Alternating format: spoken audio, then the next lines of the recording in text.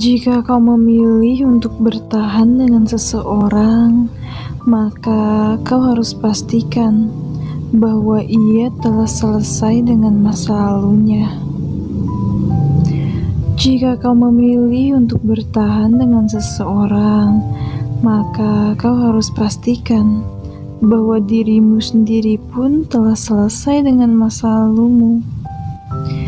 Jika kau memilih untuk bertahan dengan seseorang, maka akan selalu ada yang harus kau rendahkan, yaitu egomu.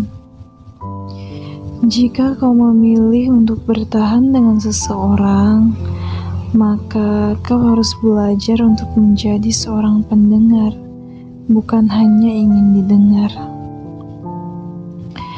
Jika kau memilih untuk bertahan dengan seseorang, maka kau harus memastikan bahwa dirimu bukanlah sebuah cinta yang ia sembunyikan.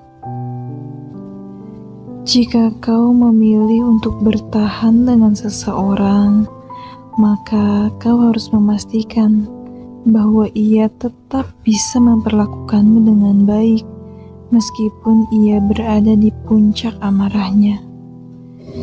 Jika kau memilih untuk bertahan dengan seseorang, maka kau harus tahu bahwa hidupnya bukan hanya tentangmu. Ia tetap berhak memiliki privasi yang harus kau hormati. Jika kau memilih untuk bertahan dengan seseorang, maka kau harus siap jika kelak ada satu kebiasaan yang kau baru tahu darinya, sekacau apa pun itu.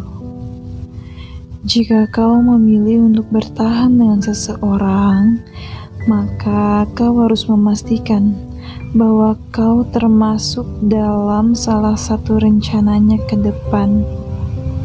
Dan terakhir, jika kau memilih untuk bertahan dengan seseorang, maka kau harus memastikan bahwa dirinya juga telah memilihmu untuk senantiasa mendampinginya.